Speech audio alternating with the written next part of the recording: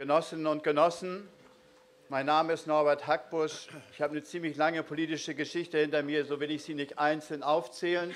Die letzten Jahre habt ihr gut verfolgen können. Drei Jahre lang habe ich mit Dora und Christiane verantwortet die Arbeit der Fraktion als Fraktionsvorstandsmitglied innerhalb der Bürgerschaft.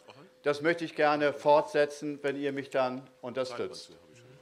Die politischen Themen, die ich dort bewegt habe, sind wie eben bei einer kleinen Fraktion relativ vielfältig gewesen, von Themen wie Kultur mit kräftigen Auseinandersetzungen, die wir dort einigermaßen gut auch hingekriegt haben, Europapolitik, Haushaltspolitik, Hafen. Man merkt schon, wir müssen auf jeden Fall mehr werden, damit wir nicht so viele Themen mehr am, bei uns praktisch auf unserem Bauch haben. Ich will euch gerne einladen, hier in diesem Wahlkreis, das ist nämlich der Wahlkreis, in dem ich direkt gewählt worden bin. Um diese Schule herum, Altona-Altstadt, haben wir über 20 Prozent bekommen. Und ich hoffe, dass wir das beim nächsten Mal noch mal kräftig ausweiten können. Das ist einer unserer Schwerpunkte und ich bin stolz, in so einem Wahlkreis auch wieder direkt aufgestellt worden zu sein. Wir, wir haben gestern lange finde ich, über ein Wahlprogramm geredet, zum Teil darüber gestritten. Und ich finde, wir haben ein gutes Wahlprogramm zusammenbekommen. Und ich finde vor allen Dingen auch, dass es gezeigt hat, dass diese Partei viel vitaler ist als alle anderen Parteien, die wir gegenwärtig in dieser Stadt beobachten können. Und darauf sollten wir auch stolz sein. Ich will aber auch sagen, dass es in gewisser Weise die wesentlichen Themen schon angesprochen worden sind von den meisten, um die es geht. Das eine entscheidende Thema ist klar, soziale Spaltung in dieser Stadt die nicht nur viel, viel zu hoch ist, sondern eben auch noch in den letzten Jahren zugenommen hat. Das entscheidende Moment davon ist, das wissen wir alle, war Hartz IV. Dass die entscheidende Provokation bei diesem Wahlkampf ist, dass einer der wichtigsten Baumeister dieses Hartz IVs gegenwärtig gelobt von der Handelskammer der Spitzenkandidat der SPD ist. Das finde ich eine Frechheit und ich finde es aber eine Herausforderung von uns, dagegen aufzustehen und dagegen zu sagen, uns gibt es als Alternative.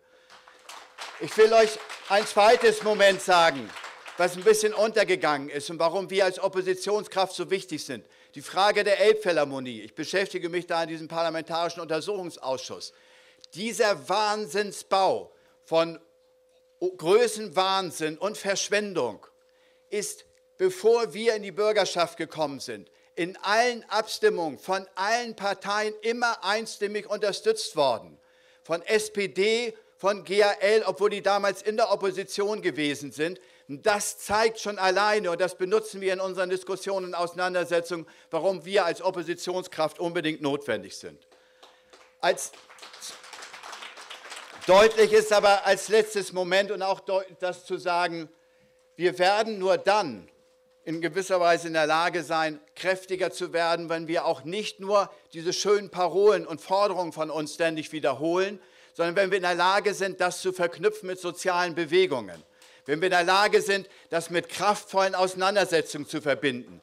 Ich finde, wir haben dort im Zusammenhang mit der Fraktion einiges Positives erreicht. Ich finde noch zu wenig. Deswegen will ich auch wieder kandidieren und will daran weiterhin beitragen. Sondern mit der Slogan, mit dem wir arbeiten, je mehr Stimmen die, äh, die Linke bekommt, je mehr Stimmen die Linke bekommt und je kräftiger wir werden, desto sozialer wird diese Stadt.